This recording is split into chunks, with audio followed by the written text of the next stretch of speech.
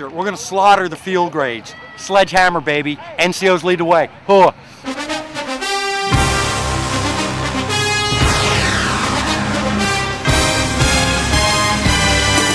Prediction, we win by three touchdowns. You can take that to the bank. is, is that the officers is just going to totally run over the NCOs. I predict that the score is going to be 28 to 7, officers over the NCOs. Go big O.